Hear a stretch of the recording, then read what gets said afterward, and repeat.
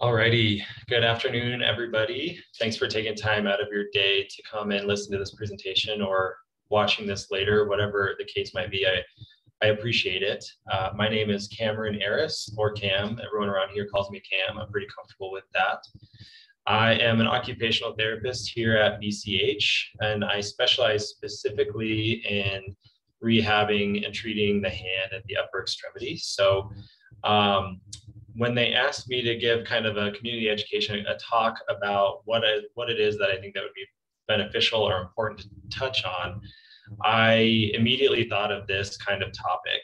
And while it's beneficial for arthritis and for stiff hands and things like this, um, it is something that anybody in any generation can benefit from. So um, I knew immediately that this was a big line item. I talk about it with nearly all of my patients. And so I wanted to really dive deep a little bit into it, take a little bit more time than I usually get to in my sessions. Uh, so here we go. I have a, a, phone number here for our scheduling line. If this presentation is something that is interesting and something that you think you would like to have an evaluation or see me for, please feel free to give that phone number a call. Um, just know I am an occupational therapist. So if there is a prescription that needs to be written, uh, make sure it says OT and not uh, PT. So a little bit of a discrepancy there. Uh, a lot of hand therapists are occupational therapists, and not very many PTs touch it. I'm not sure why, but that's just kind of how it all happened. So, um, with that said, let's go ahead and kick off here. I have a couple of uh, line items to talk about first. So, we'll be here for somewhere between 30 to 40 minutes, probably about 35 minutes. Um, I'll give my my presentation. And then following that, we'll open the floor to a little bit of a Q&A session. To ask questions, there is a Q&A icon somewhere on your screen. Mine's at the top, it might be at the bottom. There's two little word bubbles there that you can type a question into. Um, there's uh, deceptively a chat option, but that is not functional. So try not to type anything in the chat. You won't be able to. Go to that Q&A and also do be aware that other people viewing this are going to be able to see that question and answer here. So uh, try and keep any sensitive or personal information out of there, uh, any contact, personal contact information. Just uh, type the question there and we'll be sure to answer the questions as they come in um, or at the end of the session. This presentation is going to be recorded. And so there's going to be two different locations that you can find this. One is going to be on YouTube, and then the other location is going to be at this link here, which you'll have the link to access later on as well. Just click that link. It'll drop you right into uh, the website here at BCH for this presentation. It'll also have some other videos that I think are helpful for people to be able to access as well. Um, it'll be posted probably, you know, tw within 24 hours, I would say at the latest, probably Friday morning, just to be on the safe side, but it should be up here pretty quickly. We've got a pretty good team and they're on top of it, so it should be posted pretty quick. And uh, along with the recorded presentation, you'll also have um, access to the slides. So you'll have that information as well. Here we go. So we're going to start off by talking about joint protection. And this is a really popular term, a really popular um, phenomenon in hand and upper extremity therapy. Sometimes it's called ergonomic principles. So don't be fooled. If you go forward and someone's talking about ergonomic principles, these two things are synonymous with one another. They mean the same thing. So I think they're just kind of progressing and, and updating some terminology in the field. And these two things mean the same thing. But when we're talking about joint protection, what we're really talking about is how to effectively and efficiently and safely position our hands, our wrists, and our arms in the best way possible when we're going about our daily life, whether it's during a specific task or an activity, or when we're using a specific kind of tool. Um, we want to be the most energy efficient and, and operating in a way that is the least painful for us. And usually we use our hands in ways that we're not aware of being hard on our arms and our wrists and our hands. And so we're just drawing our attention to that and focusing on some of those things that we might be able to change to make our daily life a little bit different, a little bit easier. Um, ultimately, what we're trying to do is reprogram the ways that we've always done something to have it be more efficient. Uh, in human development and in biomechanics, we often say that if we watch a toddler do something, they do it in the most biomechanically appropriate way possible. They're kind of our models of how we should be doing things. But as we get older, we develop ways of being a little bit lazy, a little bit quicker, a little bit faster. And that doesn't always mean that it's the best for our joints and our soft tissues and our bones. So it is a behavioral thing. It's drawing attention to something. It might not be the fastest way to do something, but long term, it is going to save us from developing these kind of chronic conditions, whether it's arthritis, whether it's tendonitis. Uh, whether it's carpal tunnel, it's going to postpone our development of some of these things uh, to happen a little bit later than we would hope for, really. When we talk about joint protection, there are some cardinal rules that we want to keep in mind as often as possible. The first and the most important one is we have to respect the pain.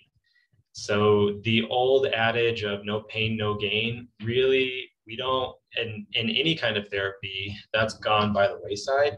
And specifically in hand and upper extremity therapy, we have so much neural connection in our hands and we have so much real estate in our brains dedicated to our hands that if we're constantly pushing into that pain threshold we run the risk of developing uh, you know pain conditions and pain disorders and perpetuating a pain cycle that we want to really avoid.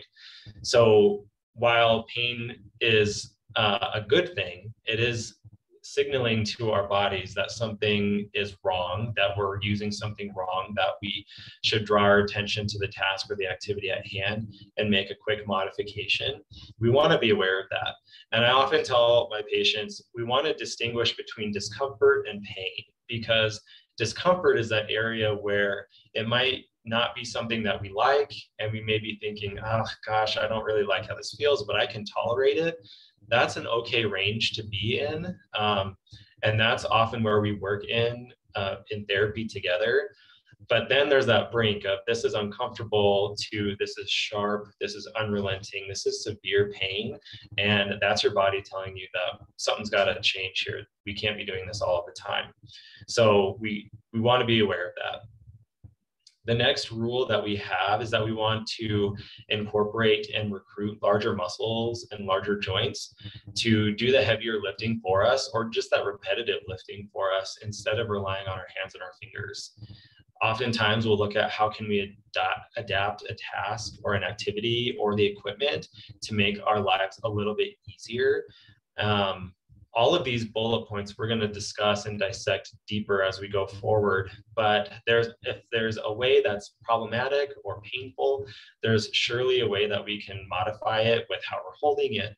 Uh, can we build up a handle on our uh, gardening utensils? Can we maybe flip our grip uh, on a way that we can make it easier and using a bigger muscle to accomplish that task or that activity? So there's plenty of ways to adapt and a lot of resources out there to find good good strategies and adaptive equipment to make everyday participation much smoother.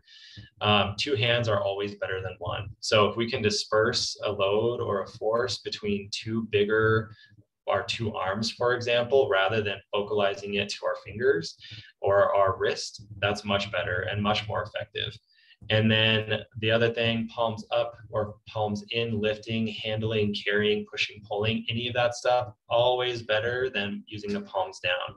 That palms down position really, really is one of those precursors, not only for things like arthritis, but things like de Quervain's, that, tend- that tendonitis on that thumb side of our wrist, or extensor tendonitis on the back of our wrist, or trigger fingers, even. So I put this picture here to the right. It's a little bit grainy, but you can kind of see that she, this individual is carrying those bags in a hook grip, kind of in the fingertips. And that's definitely concentrating a lot of pressure on these tiny little tissues that we want to put somewhere else.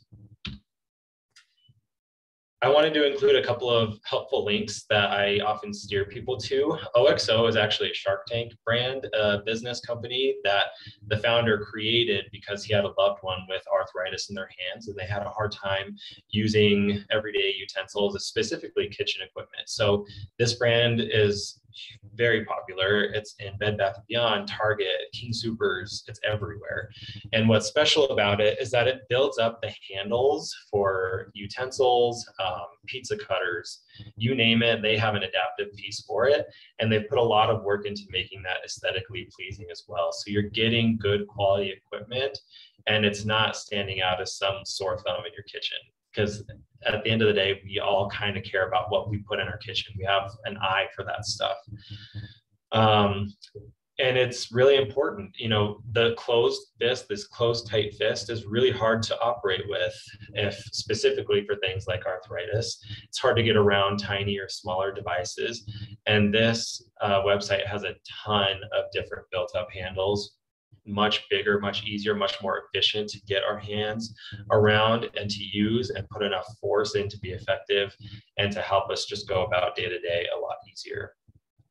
E Special Needs, this is kind of a catch-all website. They have a ton of information and a ton of different things for all, all sorts of things. There's a lot of pediatric stuff on this website, but there are several items on here that I like a lot. Um, and they have things really beneficial for like dressing, self dressing, shoe tying, adaptive shoelaces.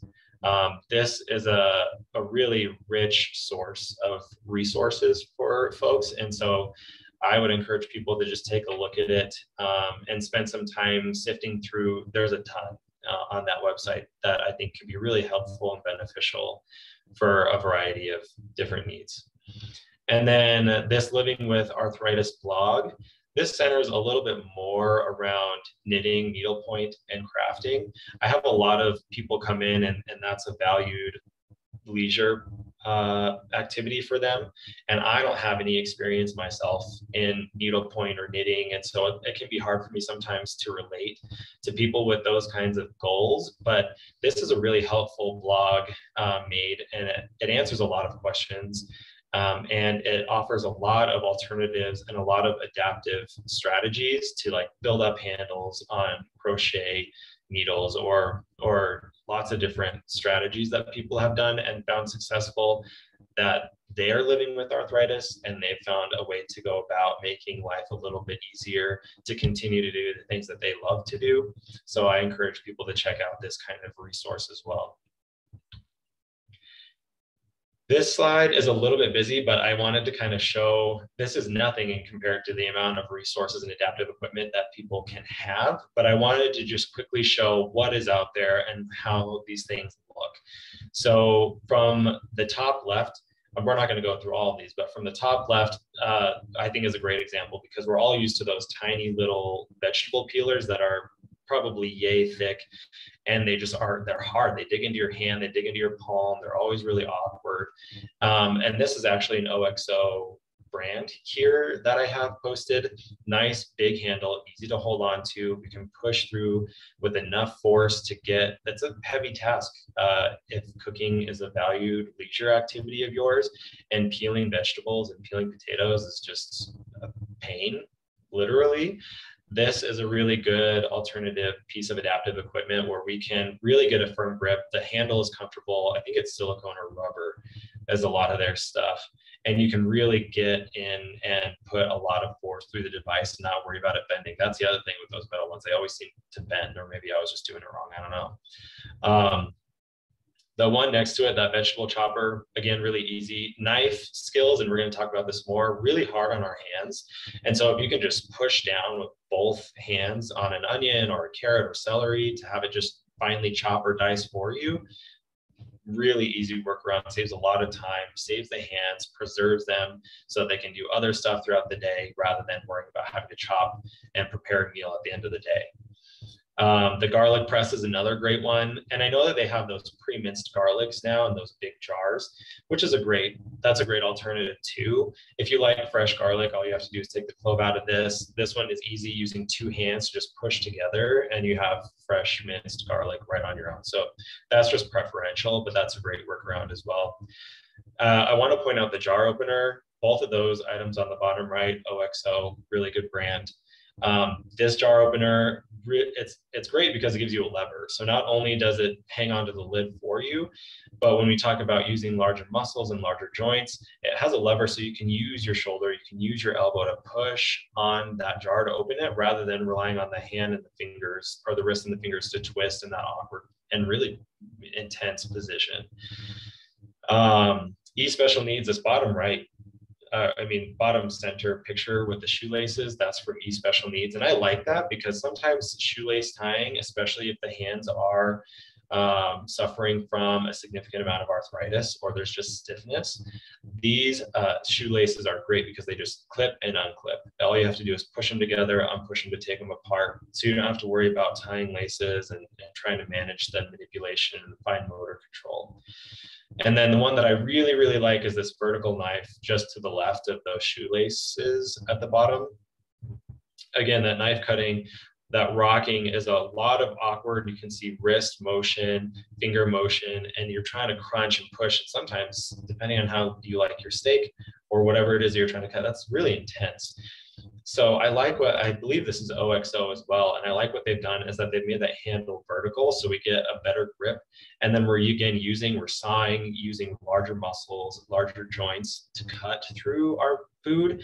Super effective, really saves the hands, and it completely changes the way uh, that you go about meal times if that's something that's really, really difficult and painful for you.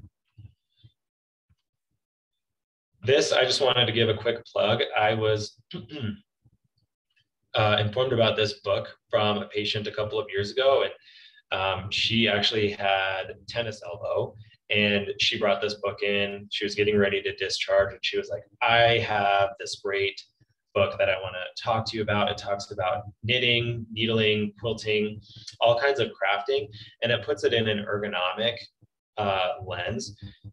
I think she even says that somewhere in there, it, it tells you how to do it one handed in an ergonomic way to save your hands. So she was really, really excited about it. Um, I've referred it to people since then and they've come back and really loved it. So if this is a valued uh, pastime of yours, crafting, needling, knitting, uh, this seems to be a really good resource if you're struggling with that and want to try some other conservative at home trends before giving therapy a shot. So I highly recommend this book. So I want to I want to talk a little bit about and give some visuals um, to what it is exactly I'm talking about. That's the perk of having uh, kind of one-on-one time with my patients is that we can sit down and really practice and get an idea for what these things look like because it is different. It's simple, but it's different. And so here are some visuals. We'll kind of break down what it is that I'm talking about the left upper hand picture is showing this kind of right this kind of like key pinch between our thumb and our pointer finger uh, that's probably one of the worst positions that we can repetitively put ourselves through day to day so we know that a pound of force at the tip of our thumb here translates to 24 pounds of force at the bottom of our uh, of our thumb at that CMC joint. That's an area where most all of us will develop arthritis in that area just because of how we use our hands ineffectively day in and day out. So usually when people come in and we're taking our measurements and we're seeing where people are, most people usually pinch lateral pinch with about 10 pounds of force on average, I would say. And so if you think about that, that's 10 pounds of force at the tip of our thumb here. That's translating down here at about 240 pounds of force at the base of our thumb to a tiny, tiny little joint that's not supposed to take that kind of amount of force every day. And 10, 10 pounds isn't really that much when you think about I'm carrying a plate and it's in this tip pinch, or I'm pulling the sheets on my bed, or whatever it might be. We do it more often than we think. So instead of having that tip pinch in this awkward position here, we want to get a full grip. That's this middle picture on the top. So we're getting our power grip around whatever device it is that we're trying to work with. Um, really important, recruiting bigger muscles, using more of our full fist or full hand than relying on our, our thumb to do the bulk of that work for us. And I like the picture to the right of it even better because although the middle picture is great and it's showing a power grip, uh, the one on the right is showing up that built up handle. So we have some extra support and we're able to generate more force with that thicker handle. So oftentimes when we're talking about force production with things, if we're too small, we have our muscles are, are pulling on a really inefficient position. And if it's too big, that's equally as disadvantageous. So we're not able to pull enough on our muscles. So there's a happy medium when we're talking about force production. And for our hands, this is a really great position to talk about a built up handle. We can really keep a good grip on it and it's much easier to work with. Uh, so then now moving down below, looking at that palm up or palm in, uh, lifting, handling, pushing, pulling. Uh, the, this fella on the left here, uh, I know that these are all weight exercises, but it really does demonstrate the, the positions that I'm wanting to highlight. And the one on the left, we can see his palms facing down toward the ground. I challenge you to think about and to pay attention over the next little while how often you pick up a cup that way, how often you pick up your phone, or how often maybe a suitcase or a backpack or a purse. Almost everybody that comes into me, I, I kind of watch them as they gather their belongings to come back and have our evaluation. Almost everybody reaches for that thing and picks up like this. Well, the problem is that these tissues on the back of our forearm, our wrist extensors, aren't made to produce that kind of amount of force and, and with that kind of repetition. So it's really hard on our hands. But then if we constantly are operating in this palm down posturing and positioning, we start to see things like de Quervain's, ten- tenosynovitis along our thumb. We start to see things like tennis elbow, golfer's elbow, things that with repetitive micro traumas irritates the elbow and the hand um, so instead, we move over to the palms up and palms in position, right? So that middle that middle photo is showing that those palms up. Immediately, you're engaging your biceps, those big, strong elbow flexors, and now they're taking the brunt of that force, the brunt of that load, instead of our wrist and finger uh, soft tissues and joints. And then same thing for the fella on the right, the bottom right, has those palms in, thumbs up to the ceiling, engaging brachialis, brachioradialis, bigger muscles, much more capable of handling those things than our fingers, wrists, and hands. The other thing that I want to note is that when we're doing this, we still want to try and keep our wrists neutral, right? So neutral here, trying to not carry things in a flexed position in an awkward position or carry things in a wrist back position or side to side. We want to have our wrists nice and neutral, nice and neutral, evenly balanced, evenly distributing the load and the pressure through our arm this is a big one. This one, this one gets me, and, and I, I definitely heed my own advice with eggs or or whisking or beating or mixing something. Very, very awkward posture, right? If you look at your hands and you make just a fist, our fingers naturally kind of want to come to our thumb side. But when we whisk, everything wants to be pulled to our pinky side of our hand. And that really stretches and stresses the ligaments in our fingers. And it crunches on the soft tissues. It's just really awkward. And then you add that wrist motion. And that's really intense for our hands to be able to handle, depending on how much you're doing it during the week. So, uh, our our alternative is this picture to the right, and I love this picture too because automatically we have our power grip. We're using bigger muscles, bigger joints. It also has a built, the handle is much larger on this whisk than it is on the one on the left. So it's easier to get around. We're using bigger muscles and bigger joints to whisk and to mix, much easier and saves our hands for other tasks to do during the day. Um, my workaround, I have a blender bottle. I just put my eggs in that and I shake it, shake it, shake it, and that just whisks it for me. So that's that's how I I eat eggs every day. So I don't even I don't whisk them anymore. But that's my workaround.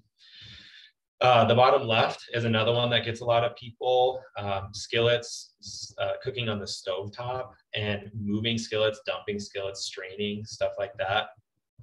When we hold the skillet, you can even see it in that picture there, kind of falls to the to this pinky side of our wrist where we get this awkward wrist posture. And then all of a sudden the handle is being supported in that tip pinch by our thumb. Again, one of the things you don't think of it, but it's happening all of the time and you're not even aware of it. So instead of holding the skillet in this awkward and demanding posture, we flip our grip. And with that handle, we want our palm up. This happy fella on the right bottom corner, he's pretty stoked and he's doing it right. And so we have our handle, we've got our palm up to the ceiling. Automatically, we have our biceps engaged. We have a neutral wrist. If it's a cast iron, specifically two hands, always better than one. Uh, but throw on uh, an oven mitt, carry it with two hands, one palm in, hanging onto the outside of the skillet, the other palm up, hanging onto the handle. Much easier, much more effective. We're dispersing all of that force and all of that load to both of our arms. And it's still easy to drain or whisk or or move you know get getting stuff out of the skillet or the cast iron whatever it is. It's still pretty easy with that palm up position. It feels a little bit awkward at first because we never do that. I, this is one that I still kind of do myself just because it's easier, it's faster, just as that's the handle, I'm going to pick it up. But when it's painful and when it's uh, taking us out of other things in the evening that we want to be able to do, it is worth experimenting with just to try different hand placements and different usages of the hands for meal prep activities. This, uh, this one is a big one. We all do this one. We all carry our grocery bags in the hook of our hand. We have it kind of dangling here in our fingertips. Um, with that repetitive micro trauma to that part of our fingers and over a long period of time, that's when we start to see things like trigger finger uh, start to accumulate and to build because those tiny, tiny insults to the soft tissues, to the flexor tendons of our fingers, our body's going to lay down tissue in response to that just to buffer it because it's always being irritated. So, what happens is we start to build balls of adhesion on the flexor tendons of our fingers when we carry things like this habitually and forever, right?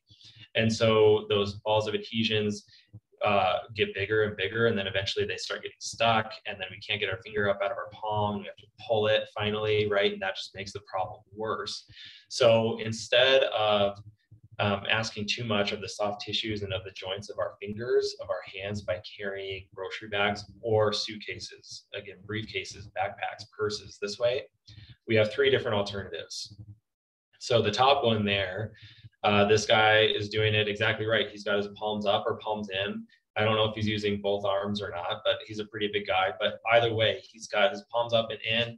He's transferring all of that load to the biceps, to the elbow, to the shoulder. He's got an open hand. He's not working too hard there.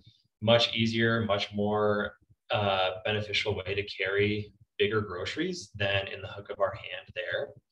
Um, the one in the middle on the far right there, I do this one because my grocery store never has any uh, grocery carts. All it has is baskets. And it's not as taxing or exhausting as you would think that it would be to carry it on the forearm. And for short periods of time, this is okay. Um, yes, there are some sensitive structures up on the forearm and close to the elbow, but we're not carrying a basket for, you know, forever and hopefully not going to the grocery store a ton during the week. Um, but this is much easier way to carry some of those baskets or bags or purses or whatever it might be putting it on a larger surface. And then at the bottom, this one's great too, because not only is she carrying the, the bags on her shoulder and using her shoulder to take the brunt of that weight, but then she's got both of her hands available to get into her car to mess with the doorknob. So not only is it saving some of the, not only are some of these strategies saving our hands from injury or chronic injury, but it, it, frees us up to be functional too in case we have to work with something outside of us, whether it's the doorknob, a car key, what, what have you. And then we'll talk about some TLC. So I'm a big fan of heat. I think heat is great. I I like heat, but I have folks who come in who like ice. Um, I don't hate ice. I'm not going to tell people to not ice. Uh, if ice is something that you like and something that works for you, I would say heat first, ice after. The reason for that being is that we know that ice is uh, on such a shallow area like our hands, if you think about going outside on a day like today, it's very snowy, it's very, very cold, and you're trying to fiddle with keys or you're trying to mess with your phone or text or something fine motor, you notice that your hands are quite stiff and they don't move so well. So ice is, it makes tissue less elastic. It slows down how fast our nerves conduct. It pinches those blood vessels. So it's preventing blood. It's obviously when it's cold outside, it's pushing blood to our core to keep us warm. Um, but it limits the amount of nutrients and healing properties that are naturally found in blood from getting to those tissues. So um, I like heat because heat essentially does the opposite of all of those things, right? It opens up those blood vessels. We get more blood, we get more healing opportunities to those tissues. It makes the tissue a little bit more elastic, and it uh, it makes the tissue more just more workable.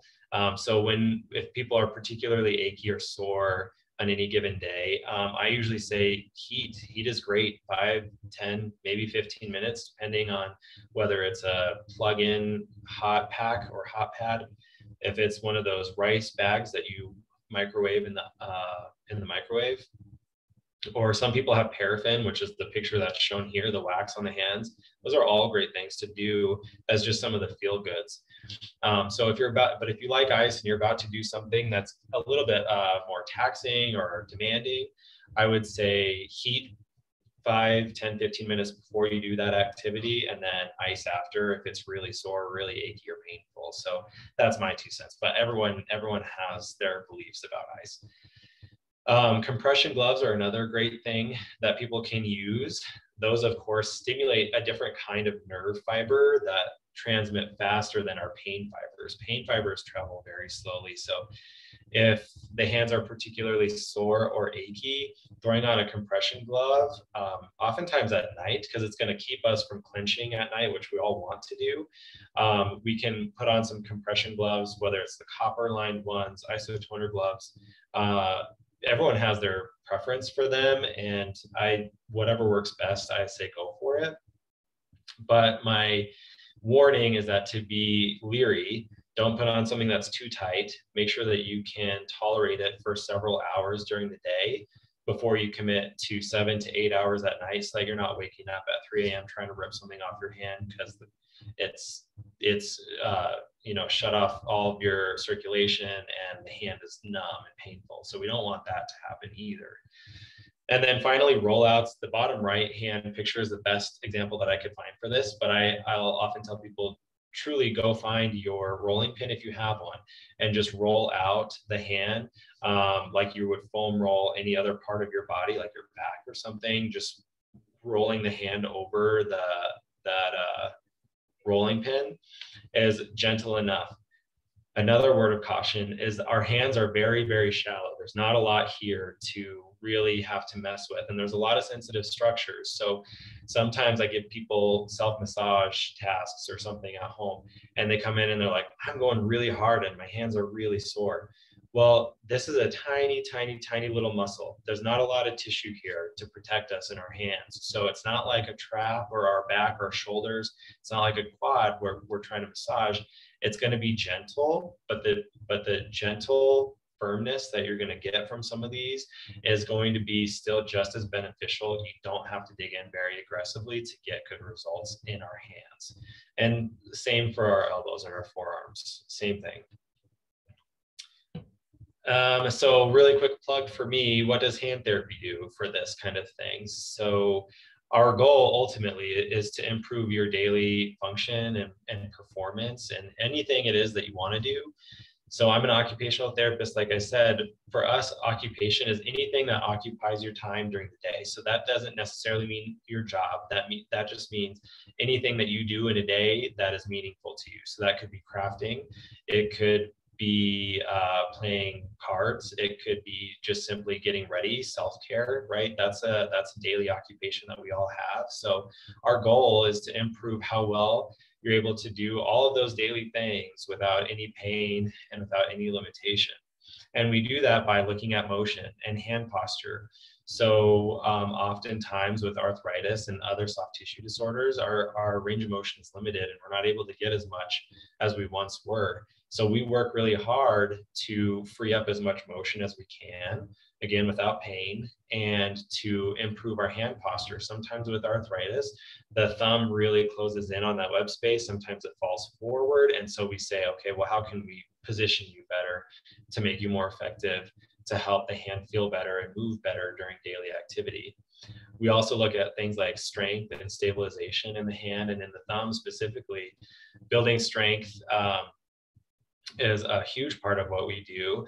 People don't oftentimes think of sta- uh, stability in the hand because it's such a small thing, but sometimes we are too mobile in the hand. And so we start to think, okay, well, how can we stabilize the structures around maybe the bottom of our thumb to make sure that we're not getting that subluxation that's going to lead to things like CMC arthritis or, you know, people who are really hypermobile and they their fingers can do all those fun things. Well, how do we avoid that? Because that's not great. You know, stiffness is bad, but so is too much motion. And so we start to look at how can we be stable in a shorter range of motion and still be strong uh, to, to make everyday function and participation easier. And the other thing that we do is all the fun stuff. So making these custom made splints that you kind of see on the right two pictures. Um, the upper one definitely wouldn't be made for arthritis because it goes onto the forearm, but maybe uh, de Quervain's for that tenosynovitis.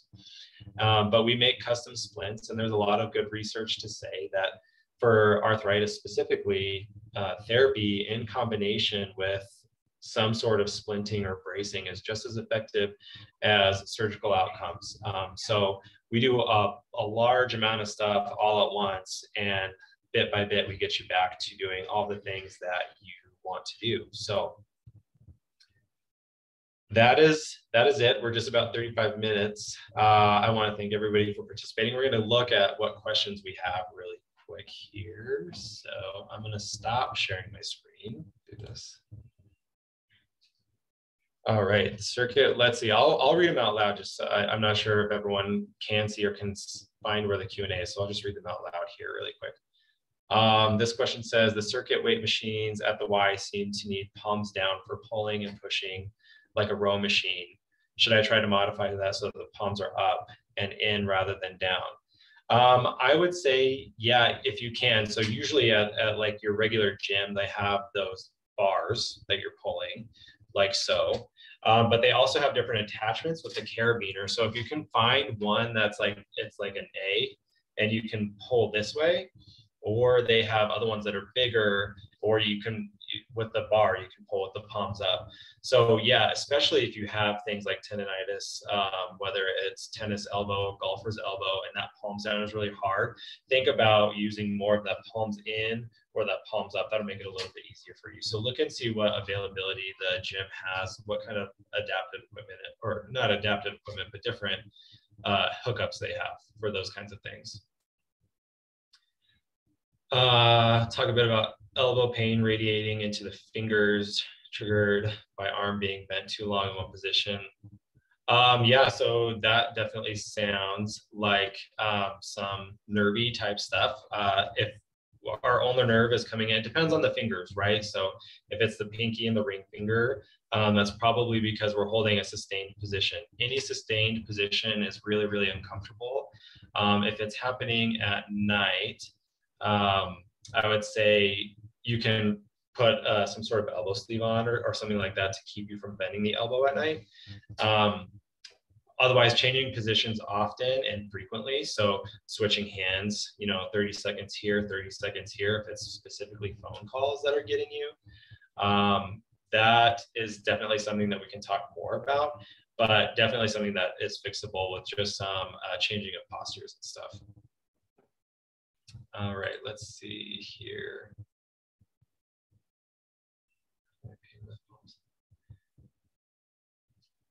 Avoid pain. I have another question here. Avoiding pain with in the palm while cycling. Um, that's another, depending again, uh, a lot of these will need a little bit of some uh, further evaluation, but palm while cycling, there is a little tunnel in our wrist where our ulnar nerve kind of goes through into the pinky side of our hand. So um, oftentimes, if that's what it is, and I have no idea, but uh, this is what's coming to mind. So if it is maybe some pinching on that nerve, um, they call it cycler's palsy, I believe.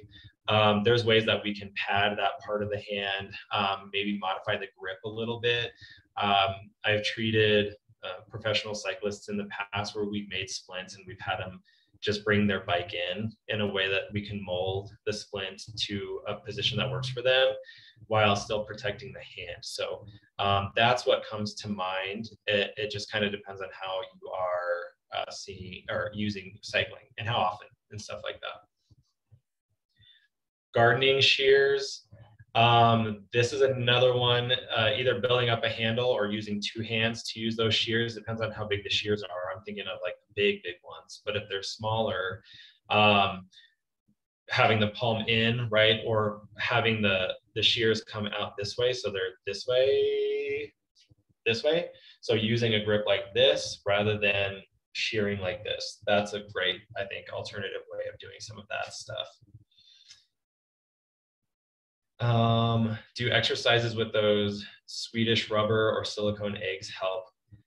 Um, again, kind of tough to say. It depends. I would say if we're if we're talking about arthritis and and stiffness in the fingers, sometimes a really great alternative is just getting a tennis ball. The tennis ball keeps you in an optimal position in this spherical position here and it's much easier to generate optimal amounts of force against something. It's not going to move and it doesn't have to, but that's kind of nice because you can squeeze as hard as you possibly want to. It's not going to go anywhere. So you can generate a large amount of force. If you hold that for five seconds, uh, you start to work on some endurance. So sometimes those isometric exercises are gentler and just as effective, meaning you're not getting any motion. The eggs, I'm not exactly sure what you're talking about, but they they sound like they maybe squish. If they don't squish, I don't see anything wrong with it. If they squish and it's painful, go to something bigger, something that's not going to move on you. Uh, let's see. The thumb hurts when it's cycling. Uh, yeah, I mean, for for me, I would, I would kind of have to see the setup of that and see how if it's this kind of posture, this kind of posture. Um, and where on the thumb. There's a lot of sensitive structures around the thumb, including a sensory branch of one of our nerves, a particular carpal bone that can get really irritated. So um, I would say it would need further examination, evaluation for that. I, I, I, don't have a great answer for that one right now. Um, let's see. Any suggestions on how to use pliers or a wrench to minimize aching fingers?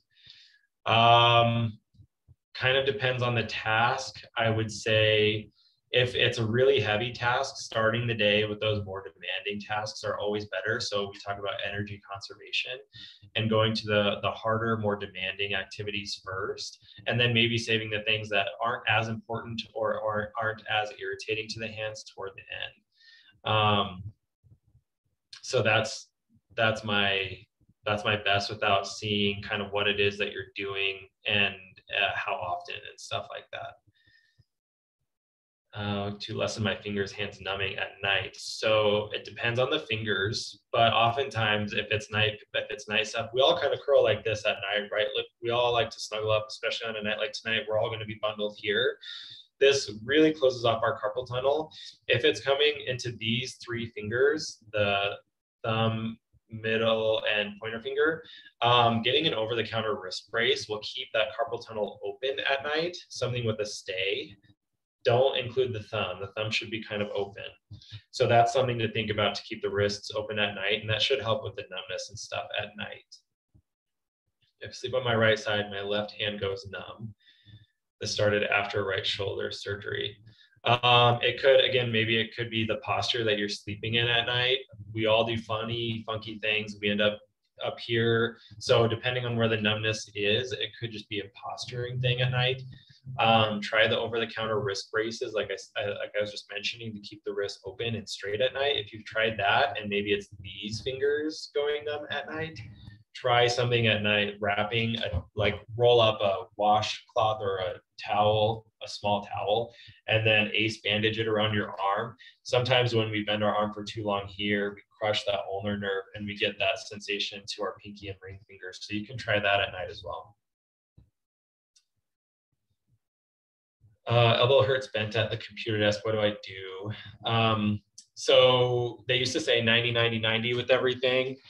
Um, and now we say kind of open up open up the elbows the wrists and the hands a little bit if it's if it's a work thing ask for an ergonomic assessment just to be safe um, but if your elbow is bent at exactly 90 degrees try and scoot back lower the the keyboard just a little bit to uh, almost straighten the elbow a little bit more, and that'll unpinge that nerve um, there at the elbow coming down into the hand.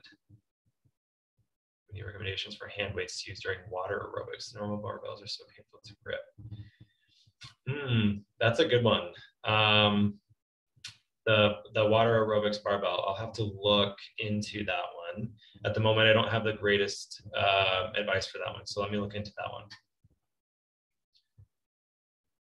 The the kitchen tool pictured instead of a whisk, I think it was an actual whisk. I just think it was a larger one with a larger handle.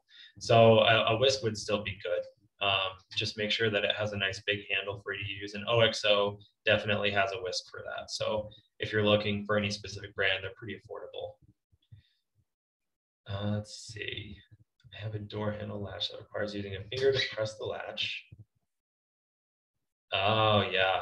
Ooh, that's a tricky one. So um, if you have two hands available for the door handle latch that requires two fingers to press, if it's what I'm thinking of and it's like a this that you have to open or pull, um, try one hand, use the other hand to push down. Two hands are better than one. So if that is really painful, because that would be very difficult, yes. Or if there's some way to grasp around the handle and the latch at the same time and just approximate the two, basically, you could give that a shot as well.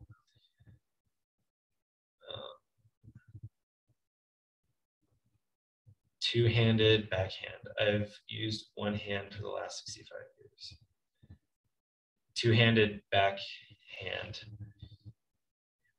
I'm not sure what that one is. I'll have to get some clarification on that last question there. Um, where the wrist braces, uh, where to purchase those, Amazon or Q, uh, whatever uh, the, I'm drawing a blank on it at the moment. Um, but Amazon is a great source. You can just Google it. Uh, if you just if you type in wrist cock up brace, it'll it'll bring it up. Some of them come up onto the thumb, but if it's just for the numbness and stuff, we don't need to worry about that. So if it's numbness, carpal tunnel type stuff, don't worry about that. Um, for tennis, two-handed or one-handed, that that is a good for the tennis. I am getting back to the backhanded question here, backhand question for tennis. Um, uh, I would try to. I'm not as I'm not as familiar with tennis. Um, and that tennis elbow is a lot. If you could somehow maybe just even stabilize the wrist, if you taped your wrist a little bit, that would give you a little bit of some stability while still giving you some motion. So um, that might be a good workaround too. If two-handed backhand is really difficult or awkward, try taping the wrist. Uh, hand therapy can depending on what it is, I'm not going to make too many promises. Definitely help a finger that locks up. Um, depending on how severe it is, how long it's been going on, it's always a good idea to consult with the doc just to get X-rays and see what exactly is happening in there. But um, but it's de- it could absolutely be worth a hand therapy evaluation as well for those locking fingers. Um, can occupational therapists make a diagnosis for wrist pain? So no, I can't make a diagnosis. Um, I can't diagnose as an OT. I can formulate my own idea and in collaboration with the doctor with imaging and other uh, assessment tools, we can make a firm diagnosis, but I can't, I can't, I cannot make a diagnosis. Ice or heat for elbow pain, um, it depends. There are a couple sensitive nerves up in the elbow. So if it is on the inside here, I would not ice that area just because that nerve is so superficial. You can burn that nerve if we're not careful. So I would say heat, um, but experiment with both and see what works best for you. Any food recommendation for foods that avoid arthritis sufferers? Um, uh, especially with RA, that is uh, linked to high stress levels. So any sort of stress management or anti-inflammatory diet that you know of that you can kind of work on. I won't make any formal recommendations, but uh, folks who usually do any sort of that through their own uh, research that have done an anti-inflammatory diet that that does help. And stress management does help as well. There is a connection mind body connection to a lot of that. So um, managing stress putting good foods into our bodies that aren't going to flare up our joints and muscles always is a good idea There's also a selection of decent wrist braces at CVS. That's what I was trying to think of. Yes, Walgreens and CVS uh, uh, and grocery stores will have some of those things as well. So I think that is the last of our questions. Thank you again so much for coming. This was awesome and for participating. Really great questions. Um, like I said, phone number at the beginning for scheduling. Remember OT, and I appreciate it. Thank you, everybody, so much. Have a great rest of your day.